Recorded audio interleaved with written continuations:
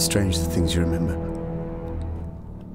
79217149BA. That force number was given to me when I turned 16, and it stayed with me through my army service. I guess I had no choice but to memorize it, and so it stuck. But as for how Yanni Foster was killed, I couldn't tell you. Even though I was there when he died.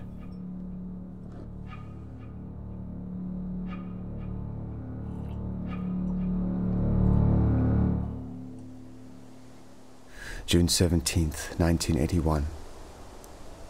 Our squad was on patrol in southern Angola when we were ambushed by SWAPO forces. They opened up on us with machine guns, RPGs, the works. In the chaos, Foster and I were separated from our guys. We began the long trek back to base.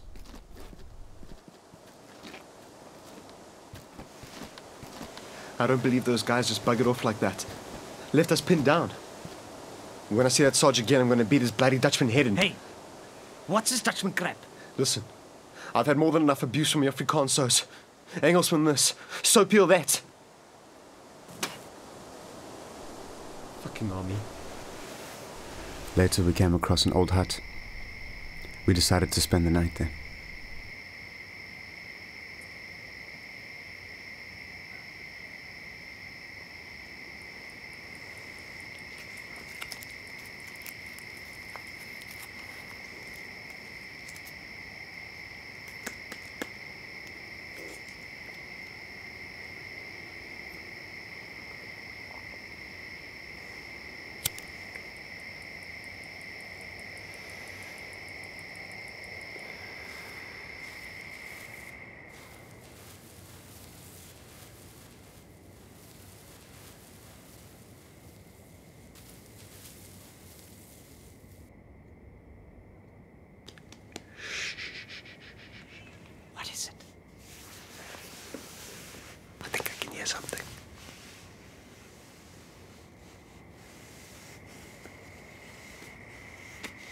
It's gone. It's probably just a hyena or something. Yeah. Just a hyena.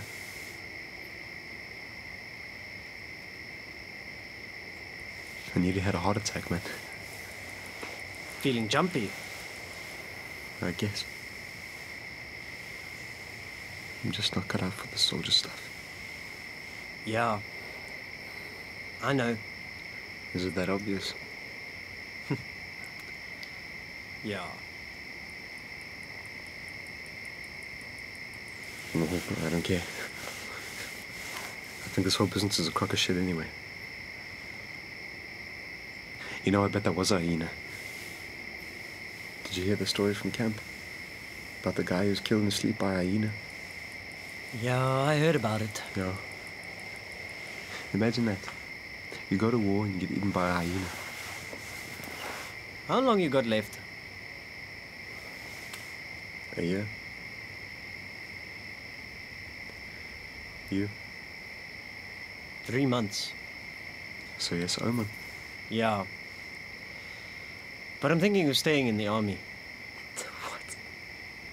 You're crazy. Ugh. If I go back home, what will I do?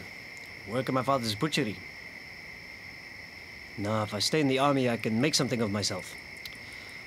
Maybe become an officer or something. Yeah, well. I can't wait to clear out, eh? Get on with my life. Go on, but get some rest.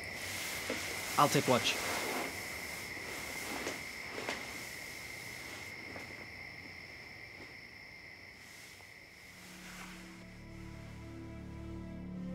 Yanni was a good soldier.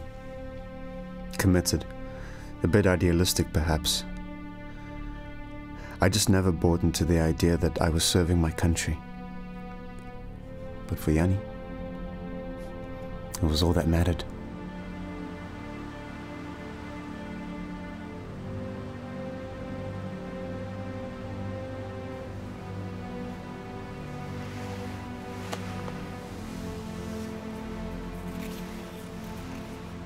Looks like a mortar attack. Yeah.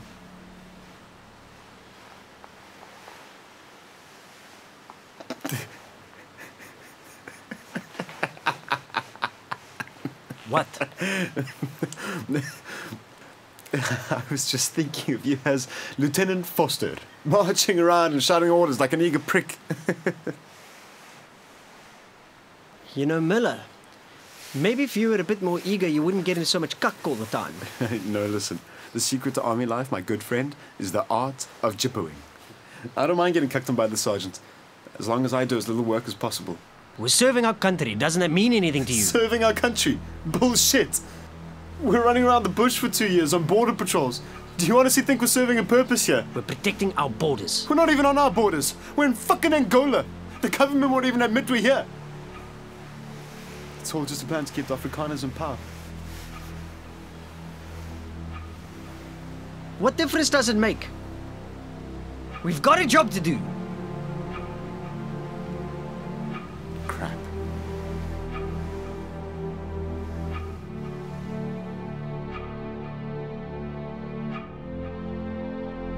Ever since coming home, I've been haunted by the vision of Yanni lying dead. I have nightmares, but I always wake up before he was killed.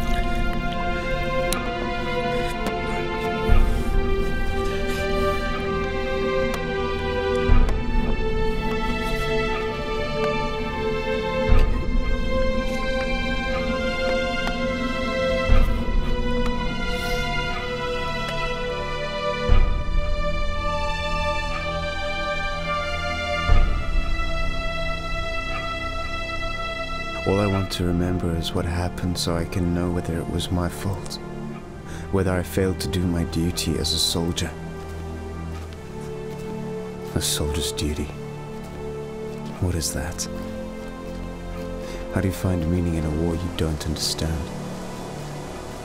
I think what I've realized is that it wasn't so much about serving my country, it was about serving my fellow soldiers.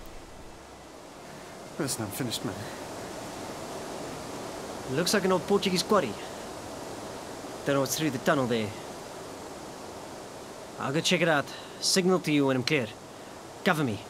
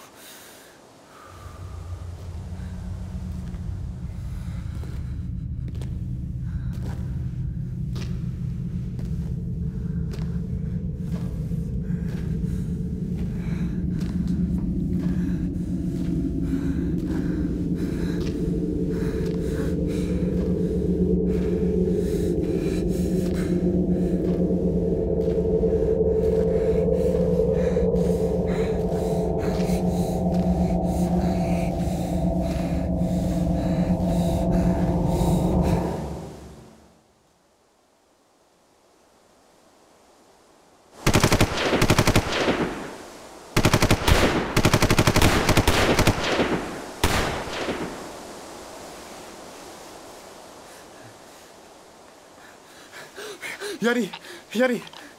I'm not gonna make it to my sister's wedding.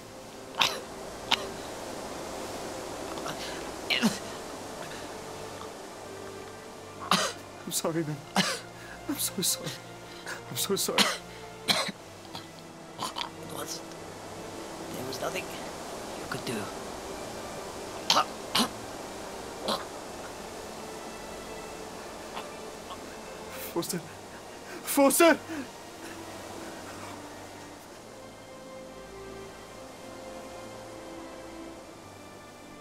There was nothing you could do. I don't know. I think I'll always live with the feeling that it was somehow my fault. Ernest Hemingway wrote In modern war, there is nothing sweet nor fitting in your dying. You will die like a dog for no good reason. I suppose I should just be thankful that I survived.